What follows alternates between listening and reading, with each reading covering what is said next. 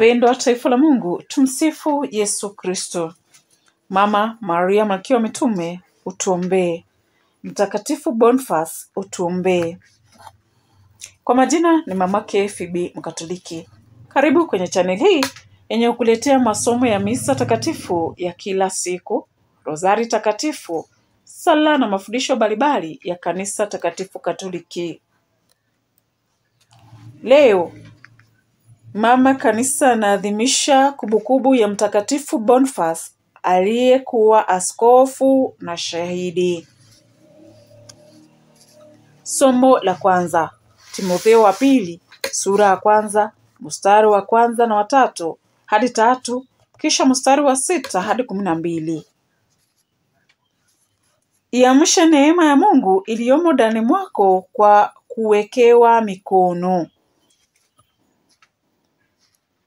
Mwanzo wa barua ya pili ya Mtakatifu Paulo kwa Timotheo. Mimi Paulo, kwa kusudio la Mungu, mtume wa Kristo Yesu, kadri ya ahadi ya uzima unaopatikana katika Kristo Yesu, na kusalimu wewe Timotheo, mwanangu mpendwa, neema, huruma na imani zitokazo kwa Mungu Baba na kwa Kristo Yesu Bwana wetu ziwe nawe. Namshukuru Mungu ambaye namtumikia kwa dhamiri safi kutokana na wazee wangu. Nawe ninakukumbuka daima katika sala zangu usiku na mchana. Ninakukumbusha uiamshe neema ya Mungu iliyomo ndani mwako kwa kuwekewa mikono yangu, kwa maana Mungu hakutupelekea roho ya woga, bali roho ya nguvu na wa upendo na wa kushika kiasi. Basi usione aibu kumshuhudia Bwana wetu, wala usione aibu kwa sababu yangu mimi niliye mfungwa wake, bali uvumilie pamoja nami kwa ajili ya Injili, ukitegemea nguvu ya Mungu. Yeye ametuokoa na ametuita kwa mwito mtakatifu, si kwa sababu ya matendo yetu sisi, bali kwa kusudi lake yeye na kwa neema yake tuliyopewa katika Kristo Yesu tangu milele. Lakini sasa kwa tokeo la Mwokozi wetu Yesu Kristo Yesu, neema hiyo imefumbuliwa, kwa maana ameishinda mauti na ametangaza uzima wa milele. Kwa Injili ambayo kwa hiyo mimi nimewekwa kuwa mtangazaji, mtume na mwalimu wake. Kwa sababu hiyo napatwa na mateso, lakini sioni aibu, kwani namjua niliyemwamini.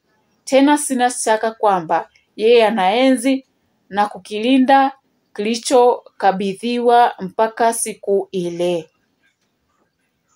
Neno la Bwana. Tumshukuru Mungu. Zaburi ya kuitikizana. Zaburi sura ya mia moja ishirini na tatu mstari wa kwanza na wa pili. Kiitikio ni mstari wa kwanza. Kiitikio: nimeyainua macho yangu kwako, e Bwana. Nimeyainua macho yangu kwako, e Bwana. Nimeyainua macho yangu kwako, wewe uketie binguni Tazama, kama vile macho ya watumwa juu ya mikono ya mabwana zao. Nimeyainua macho yangu kwako, e Bwana. Kama vile macho ya mjakazi juu ya mikono ya mabibi zao, ndivyo macho yetu yamwelekeavyo Bwana Mungu wetu mpaka atuonee huruma. Nimeyainua macho yangu kwako, e Bwana.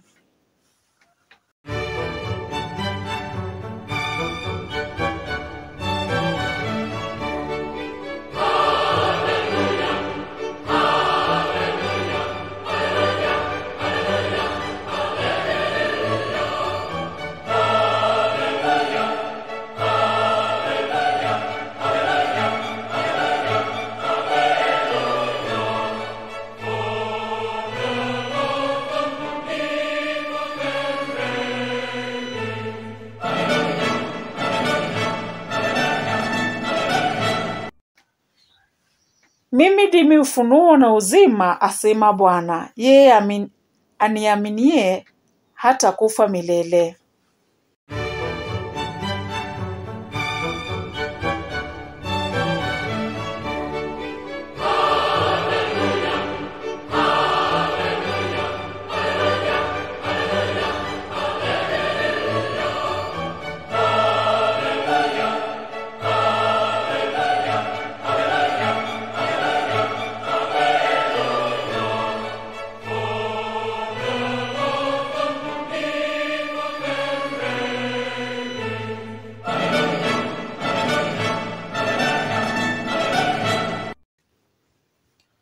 Somo la Injili Marko sura ya kumi na mbili mstari wa kumi na nane hadi ishirini na saba. Yesu si Mungu wa wafu bali ni Mungu wa walio hai. Somo la Injili takatifu ilivyoandikwa na Marko.